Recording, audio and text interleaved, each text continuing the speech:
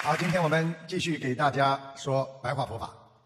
学佛就是要解脱，因为我们人在一生当中，到了中年就会开始回忆啊，回忆自己的一生啊，年轻的时候了啊，人经常会想啊，我们为什么人生会失去这么多？年轻的时候拥有的，怎么到现在都没了啊？包括朋友了啊，包括一些家了，我们到人间究竟来是为什么的？所以很多人就说：“我们难道到了人间就是为了跟啊其他的人一样，在走一个生活的程序吗？啊，就是这么走完了路，自己都不知道来干什么的。啊，等到我们走完了程序的时候，我们才知道，原来在这个人间应该学佛呀，应该懂得我们接下去往哪里走啊。但是谁也没有想到，因为在人间的时候，你不会想到要学佛。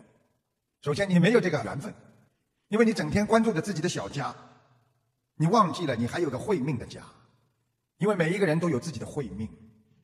你的肉体是一个家，但是你的智慧又拥有了你另外一个家，而这个智慧的家，会让你一生摆脱你的烦恼和痛苦的。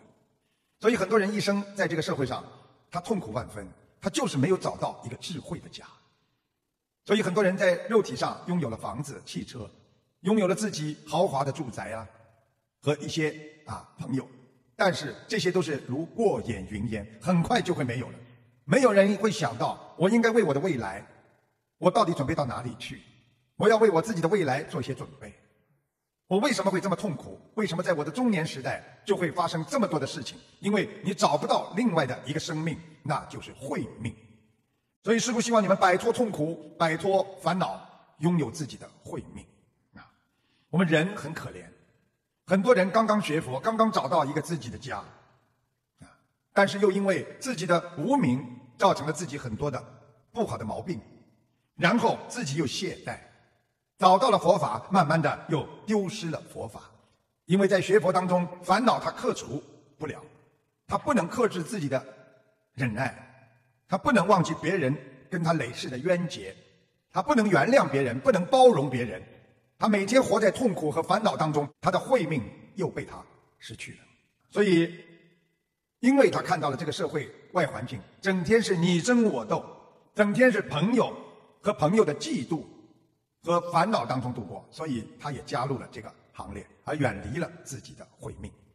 所以学佛的人，师父告诉大家，就是要懂得给你人生带来最大的痛苦是什么，那就是你的身体呀，啊，你的身体一会儿好，身体一会儿不好。你的身体一会儿痛了，一会儿不痛了。你的人生用你的肉体需要享受，需要享受那些看不见的、很快失去的那些荣华富贵。当你有一天知道自己得到晚期病症的时候，这一切又像云一样的飘散了。所以我们就在这个轮回当中不停的在走着自己的命，我们放不下，所以我们摆脱不了。所以当很多人查出来自己有严重的疾病的时候，他会带着一生的遗憾离开这个世界，这就是他拥有的仅仅是肉身，他没有留下自己慧命。所以师父教大家要学习佛法，就是教导我们怎么样来解脱你人生的烦恼。啊，佛法里边有最伟大的一个叫四圣谛，就是告诉你们有一个真谛，你知道吗？在这个人间，你只要掌握了这个真谛，你知道了这个世界怎么样的运作，你就能够克服自己的烦恼。你就能懂得怎么样走出人生的低谷。所以，师父今天给你们简单的讲一讲四圣谛。啊，佛陀告诉我们啊，我们佛教的道理其实最简单的就是四圣谛。啊，我们基本的理论，佛法的基本的理论就是四谛法，就是告诉我们什么是真谛，在这个社会上，我们要怎么样懂得。师傅以后会找更多的时间跟大家讲的详细点。今天呢，因为我还要跟大家讲很多的佛法的经文，所以我会啊稍微简单的把重要的告诉大家啊。首先告诉大家啊，四圣谛的谛什么意思？谛就是绝对的真理啊，就是真谛，就是真理，没有别人可以驳斥的。那么四谛是什么呢？那么大家都知道，苦谛、集谛、灭谛、道谛。从佛法上来讲，就是苦集灭道。那么，为什么这是一个永远的真理呢？因为就是告诉大家，人生就是这么走过来的。人生你不理解，它也是你要经历的一个真理。比方说苦地，大家想一想，人的苦就是生老病死，谁都躲不过。你今天再有钱，你再有名，再有利，你这个人也摆脱不了生老病死，谁都躲不过的。这是个真谛吧？你说有钱人不死吗？对不对？你说身体再好的人他不死吗？所以不管怎么样，要懂得，这个是佛法告诉我们苦的，因为死的时候会很苦啊。老了想做什么都做不动了，那么生出来很苦的啊。一个孩子生出来想吃什么，不能吃没牙齿啊，冷啊热呀，他又不能讲话啊，会哭啊。老了你看看人多苦，所以菩萨告诉我们，首先苦第一个就是真理，因为谁都躲不过生老病死。那么第二个讲的是极地。极地就是极苦难的因。你为什么会有苦难呢？因为一切众生从无始劫以来，所有的众生，他们都有贪嗔痴的烦恼，啊，就是你上辈子的贪嗔痴，延续到你下辈子的贪嗔痴，啊，因为极地啊，它是聚集了二十五有苦果之因的，啊，这个二十五有是什么？就是告诉你们有着二十五种生死轮回的生命的形象。就是六道啦，啊，有没有啊？很多人都是从六道当中过来的嘛，有地狱啊、恶鬼啦、畜生啊、阿修罗啊，啊，人道、天道了，啊，那么这是啊二十五当中应有的啊六道。那么天界里边呢，也拥有了包含欲界天的六天、色界天、无色界天，然后呢，涵盖着初果、二果、三果的圣者。实际上，菩萨告诉我们，这个世界这些东西都是有的，要你们懂得，把它归纳起来，一共有二十五种，所以叫二十五有。也就是说，你再怎么转，你也转不出去。它是个真谛，因为生死轮回就是在这里边轮来轮去啊。所以菩萨就是告诉我们，苦啊，即就是因为有这个二十五的苦果的轮回，所以造成你的贪嗔痴累世越积越多，这些苦难才会招感你三界生死的苦果啊。就是告诉你们，这个集就是集苦难的因啊。为什么你们会苦啊？你们自己要找到原因的呀，啊，所以有些宗教谈到原罪论，就是人生出来就有罪的，啊，所以我们佛法界讲就是苦集灭道，集就是我们原来前世带来的那些因果，今世继续要接受它的果报和回报，善有善报，恶有恶报，上辈子没报完，这辈子继续报，啊，那么第三个就是灭地，灭地是什么？也就是告诉大家，我们人。也好，物品也好，在这个世界上，它总归会有结束的一天，终有一天会灭。有生就有灭，啊，你讲的不是太好听一点。这地方着火了，它总归会灭掉的。你这个人再会打电话，喜欢讲很长很长的话，你记住了，你再怎么讲，他总归会有挂电话的时候。他跟你讲一个小时，他也总归会挂电话的时候。那么人生也是，你生出来，你身体再好，你觉得你活得很好，你也有走的这一天的。我们买的房子再好，时间住的长了，你能几百年住下去吗？你终有一天要灭度吧。所以灭，实际上灭地就是菩萨告诉我们的涅槃。所以很多人以为涅槃就是没了、死了，实际上涅槃是一种解脱。当你理解了这个事情之后，当你知道人不会死的，你就解脱了。所以啊，这个灭地是属于生死相续的，因为佛教里面不称为人死了就灯灭了，因为人死了完全知道自己以后到哪里去，不会真正的死，所以他会再投胎，或者他会到天道，或者到地府。所以，这个生死相续就是灭地，就是让人知道这个世界的真谛，就是你迷惑也好，你明白也好，最后迷惑了也会结束。你有智慧的、聪明，不管你得到了什么，最后都会灭度。所以，必须叫我们懂得，这个世界既然终有一天会结束，你的苦难或者结束你的快乐，那你为什么不能早点开悟，来远离你这个人间的烦恼，远离生死之苦呢？这就是第三个苦集灭。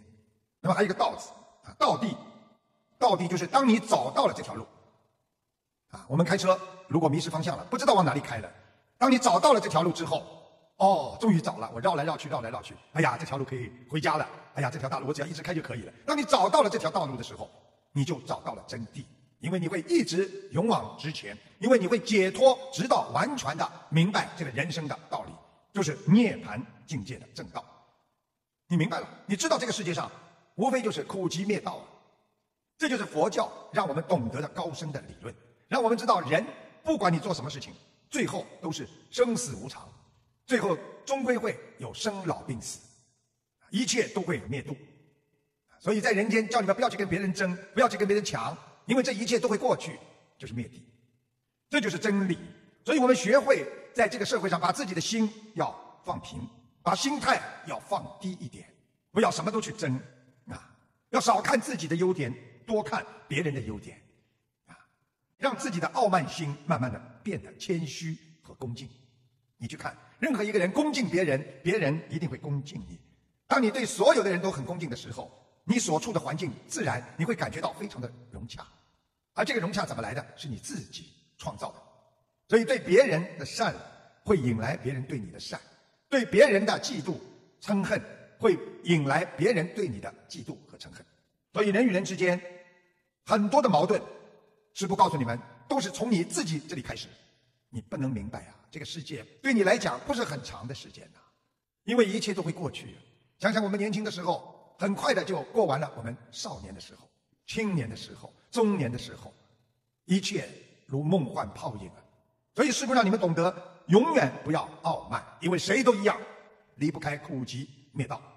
要总觉得自己比别人高明的话，你觉得你自己比别人更有见识，懂得更多，那你慢慢的在你的生活当中矛盾就会逐渐的升起。所以家庭的矛盾怎么来的？就是不能放低自己。跟自己妻子、跟自己先生为什么会有矛盾？就是不能放低自己，总觉得自己是对的，这个就是傲慢心。还有的人学佛没学好，整天是在抱怨当中养成习惯，总是说别人不好，抱怨别人。那么你的心灵就像上了一把枷锁，你没有一刻可以解脱的，因为当锁上在你的心灵当中，你根本没有办法来解脱自己的内心世界，你会承受着痛苦和烦恼。啊，所以我们真正的要理解，在这个世界上什么叫幸福。幸福，师傅告诉你们，就是不是收获的多，而是抱怨的少。你抱怨越少，你的人生越幸福。你天天抱怨，天天烦恼，你的生活，你的命运一定不会幸福。所以学佛学到后来，人不要对别人太苛刻，啊啊，遇事不要抱怨。学佛之后要懂得驾驭自己的情绪和心态。我知道我今天情绪不好，要学会驾驭它，你才能获得内心的平静。啊，因为我们人。在这个世界上，经常会听别人讲，哦，佛法界讲的人生无常啊，啊是没有长久的。你一听人生无常的，哎呦，这没意思啊，心中会常常闪过一丝丝的凄凉。哎呀，什么东西都不能长久啊，多难受啊！你好像觉得这个世界上的一切事物，它终归就会变坏了，一切努力都没有意思。你努力到最后，它也会变掉。那么然后呢，就觉得死了之后一无所有，啊，我的生命没有价值了。你就会痛苦了，于是你的心灵当中就没有重点，没有重心。你到底想干什么？你到底在人间想做什么？你日子就这么一天过一天，漫无目标。有些人听到无常，啊，佛法讲无常，他又抱着另外一个心态：既然凡事都无常的，啊，没有长久，那我赶快啊欢乐，啊，及时行乐，啊，天天去啊啊啊酒色财气啊，啊贪嗔痴啊，然后呢啊财色名食睡当中啊，在五欲当中啊。啊，然后借那种虚妄的欢乐，来迷惑自己，来填补自己内心的空虚和不安。然而，当欢乐过后，给自己带来的是更加的痛苦和空虚及寂寞不安。就像一个人烦恼的时候喝点酒一样，他可以暂时的解脱自己的烦恼，但是，啊，过一会儿他又会烦恼。所以师父要你们懂得，凡人，如果你是一个不学佛的人，凡人你就知道片面的这个无常世界。哎呀，没劲了，反正是无常的，啊，所以很多人对无常啊，他理解不对。你既然无常是生命的真相，你懂得了这个世界一切都无常的，你对无常如果没有正确的认识，你就不会对生命寄予正确的期望，啊，所以你就会在你的心中与别人的现实接触当中，用理想主义和别人会产生很多的冲突。你举个简单例子，别人说我要努力，努力什么？无常的，以后也没有了。其实你这种。就是在自我心里创造了一种啊无尽的烦恼的障碍，所以现实和理想就会有落差，你就会慢慢觉得生命，哎呀，为什么生我出来这么苦？所以很多孩子经常想，为什么爸爸妈妈生我出来让我吃苦？你就不会对生命有正常的认识，你就不会懂得什么叫圆满的生命的开始。